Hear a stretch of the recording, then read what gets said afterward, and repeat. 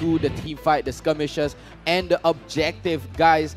Game number two, SMG up against Evil. Holler, Scrubby Cheeks, take it away. Thank you so much, Vertigo. We're going to go into game two of the second match. Of course, this is an elimination game right now.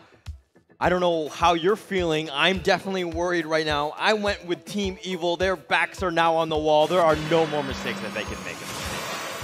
Yeah, I mean, it is one more Five potentially match point before they are the out. So this is Evil's Smash game them. to prove they need to find a way back into this game. Here we are, ladies and gentlemen. Welcome the Land of Dawn is ready for you. Now, you gotta cheer for Evil, you know, if you are live here especially. Uh, this is potentially their last chance, and SMG fan. Does get knocked off with the chains. That's a nice little combination. They do have the taunt, and he does flicker to safety, but it looks like Jox is gonna go down. Powerful will secure that one, and the Nubian Blast did hit, but now Joey's on the run. Does he get away? Rum, rum, rum. Does get shielded. He's fine, at least for now. He's under turret, but he gets bursted. Powerful at space provided, right? And space created. And that's it. but Rum, rum, rum gets blown up again. Evil on, but oh my goodness, Enya. Yeah, every time, I mean, it's one thing for Enya to die, but now Jax has been killed as well in the top lane. JS will secure that one. Rum Rum Rum is going to run up, going to easily take this turret. That damage is on point. Jax is going to be killed on that side.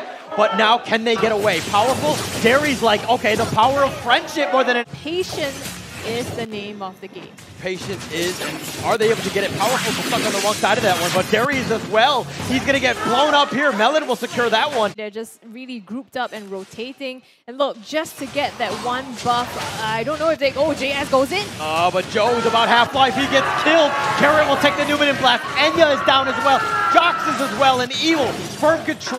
Well, they're going to go ahead and try to do that anyway on the mid inhibitor and going for the kill. Yeah, they're trying to go for it. Powerful has been killed, and they're going to look to take the base, and that's going to be the easiest game of Evil's life. 12-0. Perfect. Clinical. Everything was on point. Very well played by Team Evil there. But again, let's, you know, what are your thoughts on that one? I mean, we talked about how can Evil do this, and they did this in such a convincing fashion, right? Just no space at all for Team SMG to breathe, and wow, I'm like, this is very impressive. I'm smiling ear to ear. I was looking at a draft. I was, what's going on? I was like, oh, they're, are they going to run away with the lead? Okay, SMG, they're playing passive. They're going to be playing their late game. Evil had a lot of early game pickup because of the Aamon pick. It was a very well-balanced team. And Evil, not to mention, they also have the late game advantage too. So it was more towards late game on the side. You know, it's a little more tilted a little more towards SMG for the late game. You have Cecilion, you have Enya on the Beatrix. But this time, you know, they had the early game and they, they just ran away with the lead. And, you know, SMG forced to play passive, you know, because of the draft, they had to wait the late game. By the time, you know, uh, Evil had the big advantage, they ran away with it, and left them eating the dust completely. I mean, yeah. we said this was going to be a late game game, but the thing is, Evil didn't let it go to the late game.